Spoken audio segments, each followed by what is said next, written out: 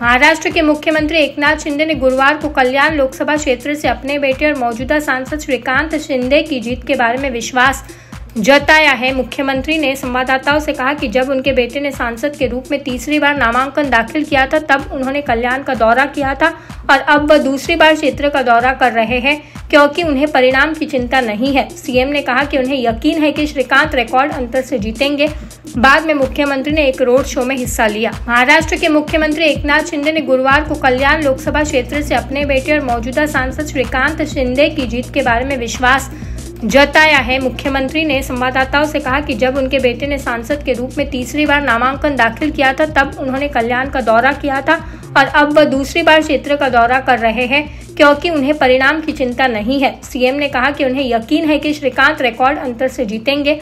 बाद में मुख्यमंत्री ने एक रोड शो में हिस्सा लिया। महाराष्ट्र के मुख्यमंत्री एकनाथ शिंदे ने गुरुवार को कल्याण लोकसभा क्षेत्र से अपने बेटे और मौजूदा सांसद श्रीकांत शिंदे की जीत के बारे में विश्वास जताया है। मुख्यमंत्री ने संवाददाताओं से कहा कि जब उनके बेटे ने सांसद के रूप में तीसरी बार नामांकन दाखिल किया था, तब उन्होंने कल्याण का दौरा किया था और अब वह दूसरी बार क्षेत्र का दौरा कर रहे हैं, क्योंकि उन्हें परिणाम की चिंता नहीं है। सीएम ने कहा कि उन्हें यकीन है कि श्रीकांत रिकॉर्ड अंतर से जीतेंगे।